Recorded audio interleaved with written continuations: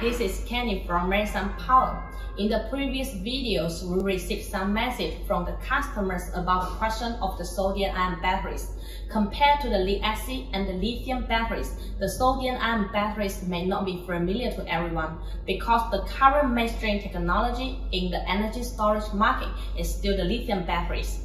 With the research of the sodium-ion batteries and some company like CATL had released their first generation of the sodium-ion batteries, that became also a topic that everyone would like to know and discuss about it. So today, we're mainly talking about the sodium-ion batteries. In the late 1970s, the research work on the sodium-ion batteries and lithium batteries was carried out almost simultaneously, but due to the limitation of the research condition at that time and the strong interest of the lithium batteries, the early research work on the sodium-ion batteries was slow and stagnant. In the past two years, the research on the sodium-ion batteries has received attention, mainly due to the first one. The environmental pollution of the lead-acid batteries is inevitable.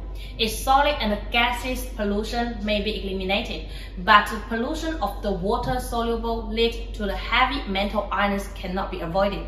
The second one is the reserves of the lithium resources are limited. At present, 80% of the world's lithium resources are distributed in South America. But my country, the lithium resources, 70% are imported. It's difficult for the lithium batteries to take into account the need of two major industries of the electric vehicles and the power grid energy storage. The third one is the price advantage of the sodium-ion batteries. The current battery grade, the lithium carbonate, the price has risen to 90,000 yuan per ton. But the sodium ion batteries, the sodium is easy to obtain. So the cost advantage of the sodium ion batteries is obvious. A sodium-ion battery has the same structure as the lithium batteries. It's also composed of the positive electrode, negative electrode, a separator, electrolyte, and a casing. The rapid progress of the cathode materials is nickel-ion manganese, copper-ion manganese system of copper, like oxide, and the production compound route. The rapid progress of the anode materials is the carbon basic. The main source of the electrolyte is changed from the lithium, like the fluorophosphate to the sodium. The anode current collector can be changed from the copper form to the aluminum form. Because the radius of the sodium-ion batteries is larger than that of the lithium, the chemical bond energy is smaller. The main technical root of the sodium-ion batteries has relatively low electrical conductivity, so most of the system need to add the carbon nanosheet or the carbon nanotube to the positive electrode materials to improve the electrical conductivity of the batteries. Compared to the lithium-ion batteries, the Stokes diameter is small. Same concentration of the electrolyte has a higher ionic conductivity than the lithium salt electrolyte. Or lower concentration of the electrolyte can achieve the same ionic conductivity. The fast charge performance is good. Although the radius of the sodium-ion batteries is larger than the lithium batteries, it's difficult to intercalate into the crystal structure to the electrode materials, resulting in a slower movement rate.